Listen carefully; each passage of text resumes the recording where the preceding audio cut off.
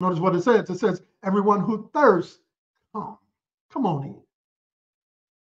It is an invitation to come and enjoy the best things that God has to offer us. And here it is at no cost. It is a lovely reminder that the best things in life are, in fact, free. The air we breathe, yeah, the stars we see. Yeah, yeah, yeah, yeah, yeah. The very best things in life are free.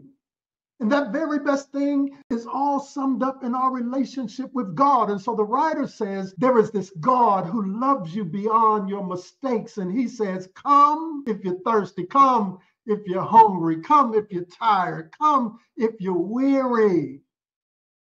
And I'm going to bless you with some stuff, and it ain't going to cost you nothing.